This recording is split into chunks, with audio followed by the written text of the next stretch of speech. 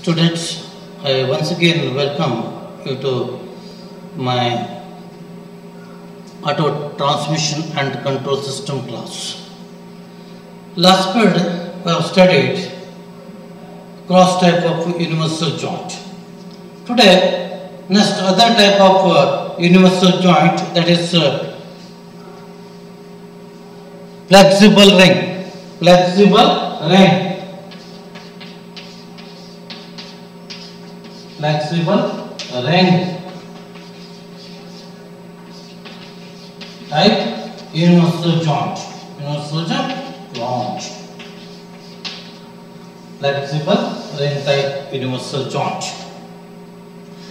This unit is consist of two three-legged spiders.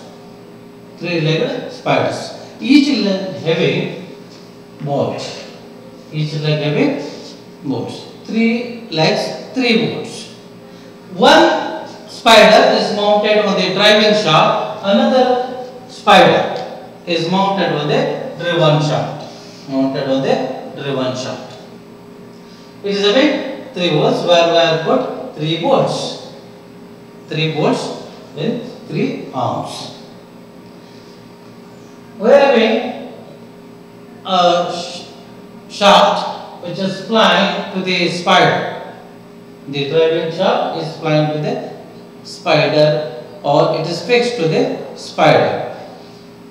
In between two, there is a flexible rubber ring, reinforced fabric rubber.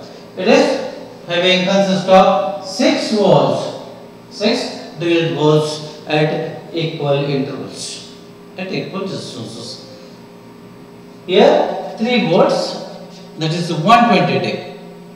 One, each 120 degree, we are having three bolts. Opposite to that, we are again another spider having uh, three bolts, three arms, where three bolts are placed. Now what happened? These six bolts, this side three, here this side. Alternatively fixed. One arm, one spider connect these three holes and another spider connect these three holes. Three holes. For that three holes, that spider and other three are for second spider. In between that rubber, what happened? It is becomes flexible. It gives little bit movement. It is the limit very less. Other cross type or constant velocity, more angle will be provided. But this device or this universal joint transmit the rotor motion with minimum angle. The movement will be very less or minimum movement will be given by the universal joint from driving shaft to driven shaft.